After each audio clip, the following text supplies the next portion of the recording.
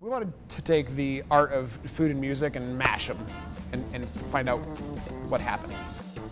Nocturne is a modern take on a jazz and supper club, trying to combine the art of food, music, and drinks all under one sophisticated roof. And renditions, I always say it's at the heart and soul of our menu. It is a lot of creative energy put forth by the culinary team, where they take an iconic album and they pair that up with food. I feel like the renditions concept is something that's very obviously unique to what we do here. It's us trying our best to be artistic with what the artist is doing with their music. We distill the emotional uh, context and aesthetics of great albums, and then we try and put that into flavor. You select an album, you pull out all the aesthetics, and you try and tell the story over five courses. It's from start to finish telling a story through flavors and food, and it has to be something where five dishes taste incredible and also match up with the artistic integrity of the album. When you put kind of a parameter on creativity,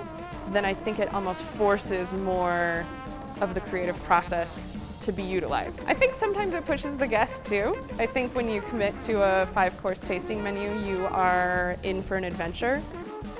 There's been a lot of interesting corners that we get trapped in when we're trying to do some of our ideas that we want to do. We definitely challenge ourselves to make sure that what we're doing is paying homage to the song. For how much work that artist put into that song, we feel like we should just put in as much effort to make sure that the food represents what that artist is trying to do. And that's something that excites us every single day when we come in is how can we make this guest experience the best. We want the food to be the star of the dish, but we also want to have the music have that backbone to it, that, that reason why that dish is together. The music of jazz at its heart is all about the exploration of new ideas. And so I think it fits in here well because it's a constant exploration of new ideas and new flavors. And so I think context at Nocturne is huge for renditions. Renditions takes a menu to a place where it otherwise wouldn't go. The menu tells us what it needs and we listen to it.